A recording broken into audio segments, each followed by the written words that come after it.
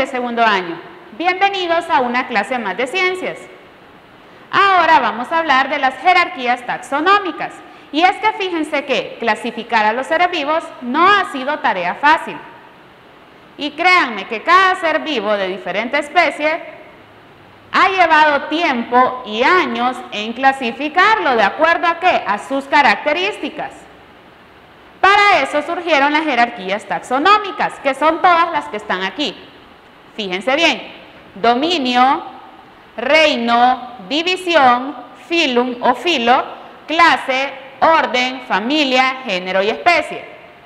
Cada especie de ser vivo tiene toda esta clasificación. Incluso hay más porque hay otros que tienen su género, su familia, su especie, su orden.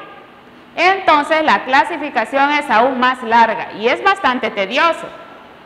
Actualmente a nosotros solo nos dan a conocer las últimas dos, el género y la especie. Entonces aquí les traigo dos ejemplos, a ver si ustedes identifican de qué organismo estoy hablando. Veamos, el primero, dominio eucarionte, reino animal, división vertebrado, filum cordado, clase mamífero, orden carnívoro, familia cánido, género canis, especie familiaris. No sé si ya saben de qué tipo de organismo estoy hablando. En lo que lo piensan, veamos el segundo ejemplo. Dominio, eucarionte. Reino, animal. Vertebrado, la división. Filum, cordado. Clase, mamífero. Orden, primate familia homínido, perdón, género homo, especie sapiens. No sé si saben a qué organismo me refiero.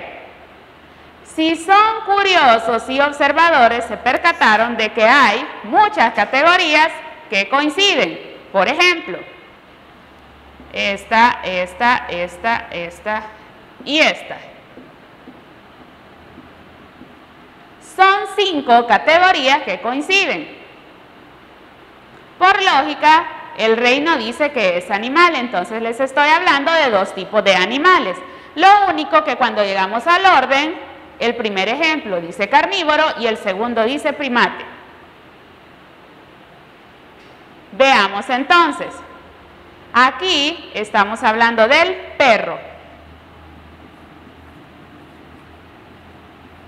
Y aquí estamos hablando del ser humano.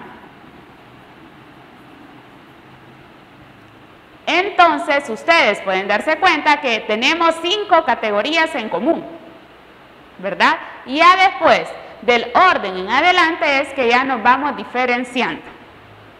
Ahora bien, como les dije en un principio, lo que nos dan a conocer a nosotros es el género y la especie. Fíjense bien, y es que un nombre científico se conforma de género y especie. Por ejemplo, el maíz o la planta de maíz. Sea es el género y maíz es la especie.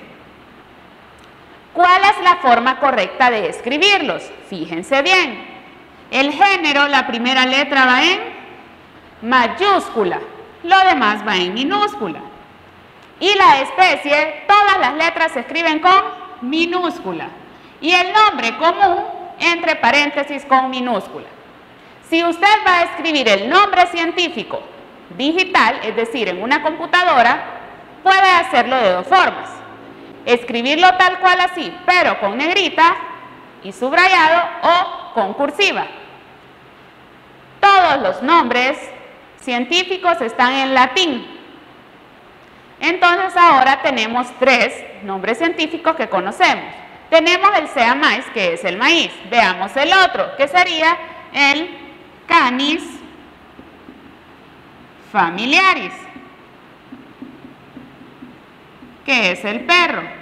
Y tenemos el de nosotros, que es Homo sapiens.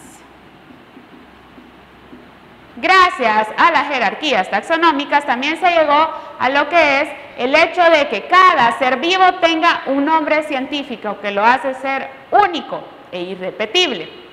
Ahora ustedes ya saben la forma correcta de escribir un nombre científico y de cómo estamos clasificados taxonómicamente. Los invito a que me investiguen más clasificaciones, por ejemplo, de plantas, por favor, ya que hoy solo abarcamos animales. Espero que hayan tomado nota de lo más importante, que les haya parecido interesante el tema. El libro y el video son grandes materiales de apoyo. Bendiciones.